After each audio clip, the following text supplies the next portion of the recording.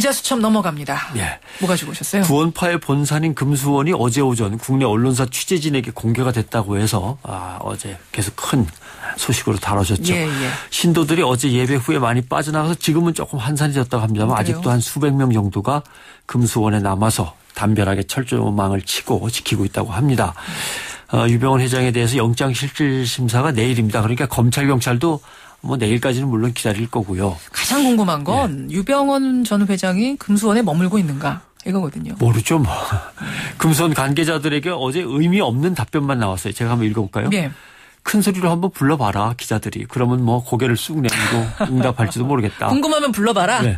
이곳 어딘가에 있을 것 같은데 나도 보지는 못했다. 점점점 말이 흐려집니다. 네. 나도 있다고는 들었는데 아직 있는지는 모르겠다라고 아. 하는 거거든요.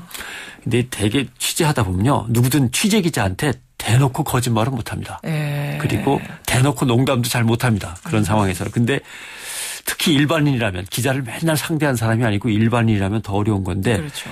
어, 큰 소리 한번 불러보쇼. 뭐 있으면 또 고개를 쑥 내밀지도 모르니까 라고 일단 운을 뗐다고 하는 것은 있을 예. 가능성이 높다는 뜻의 이제 해석이 되는 거죠. 그러니까 음. 지금 다들 몰려들고 있는 겁니다. 기자도 그렇고 그렇죠. 경찰도 그렇고. 그렇죠. 또 없으면 거기를 왜 지키냐 도대체 몰려들어서. 음. 거기가 뭐 교주의 탄생지라든가 뭐 누구 뭐 김일성 생가처럼 뭐 누구 위대한 인물로 추앙하는 사람의 생가가 있다든 그런 거 아무것도 아니고 사업장이라면 음. 잉어하고 붕어 키우고 한다면 거기를 왜 지키는가 하는 문제도 있으니까 그렇겠죠. 음, 그래요. 네. 그래요. 아무튼 첫째 언론사 취재진이 계속 모여들고 드나드는 틈을 이용해서 유병원 회장이 몸을 빼낼 기회를 얻으려고 하는 것이냐. 두 번째는 이미 금수원을 빠져나가서 구원파 신도의 집이나 다른 은신처에 있는데 예.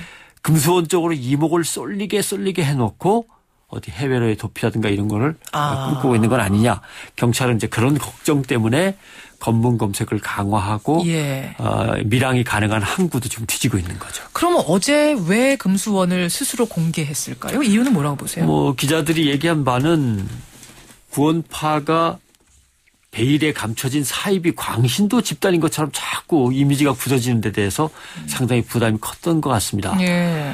뭐 예를 들면 집단 자살 사건이 벌어졌던 오대양 사건, 예, 예. 전두환 오공비리 사건 연루 뭐 이런 설까지 나돌고 있으니까요. 근데 이 구원파라고 하는 어 종교파는 여러 개의 기업을 갖고 사업을 하면서 공동체 생활을 하는 사람들입니다. 그렇죠.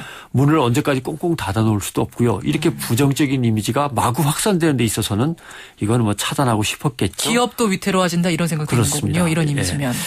어, 또 세모그룹의 제품들 불매 운동이 지금 SBS, SNS를 통해서 확산 중이에요. 엄청 확산 중이죠. 예. 네. 초콜릿, 레스토랑, 일부 일식당, 서점, 동네 마트, 자동차 부품 제조업체 등등 이대로 가면 전체가 동시에 타격을 입게 됩니다. 예. 아, 이것도 피하고 싶겠죠. 어쨌든 금수원을 공개하면서도 유 회장의 신병에 대해서는 또 함구, 입을 꽉 다물고 있습니다. 그러니까 이건 결국 유 회장이 결코 검찰 조사에 응하지 않고 도피하려는 의지가 아직은 강하다. 이걸 이제 보여주는 거겠죠. 그렇게 당당하면 좀 나와서 소환에 응하고 조사 받고 이러면 될 거 아닙니까? 왜 이렇게 버팁니까? 검찰이 집권 세력에게 가해지는 세월호 책임의 부담.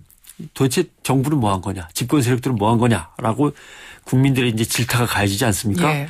이거를 구원파로 빨리 돌려서 털어 넣으려고 한다. 떠넘기려고 한다라고 하는 게 이제 구원파에서 갖고 있는 기본 아, 생각이죠. 우리는 별로 잘못한 게 없는데 예. 우리한테 책임 떠넘기려고 한다. 우리 억울하다. 이겁니다. 아. 예. 그러니까 구원파에서 또는 유 회장이 나가서 뭐라고 설명을 하든 검찰 수사에서는 무조건 구속되는 거다. 그리고 구원파 그룹 내부에 나름대로 예. 갖고 있던 이런저런 기밀 사항들이 예. 다 노출될 수밖에 없다. 그것도 불안하고. 그럴 경우 무너진다라는 불안감이 있고요. 과거에 또 아픈 기억도 하나 있습니다. 유 회장이 23년 전이죠. 1991년에 예. 오대양 사건이 문제가 생겼다가 집단 자살 사건으로 마무리하면서 다시 재수사가 벌어졌을 때 예. 검찰에 자진 출두를 했어요. 음흠. 그래서 바로 구속됐습니다. 그렇죠. 나가봤자 맞아요. 뭐 도움되는 건 없다는 거죠. 그래서 이후에 이제 유 회장은 대중 앞에 거의 모습을 드러내지 않았던 거죠. 그래요. 근데 이제 이쯤에서 궁금해지는 게 구원파, 구원파 우리가 이렇게 부르고 있는데 왜 구원파인가요? 사실 이게 얘기하면 길어집니다만 1830년 영국에서 플리머스 형제단이라고 하는 기독교 공동체 운동이 시작됐습니다. 네, 예. 작게 시작됐는데 엄청 커졌어요. 그러면서 전 세계로 퍼져나가고 아시아, 아프리카, 남아메리카에 선교사들을 직접 보냅니다. 예. 그 중에 네덜란드 사람과 미국인이 같이 1961년에 한국 와서 대구에 자리를 잡았어요. 그러면서 거기에서 신학생으로 처음 공부한 사람이 유병원 회장의 장인인 권신찬 씨입니다. 예. 예.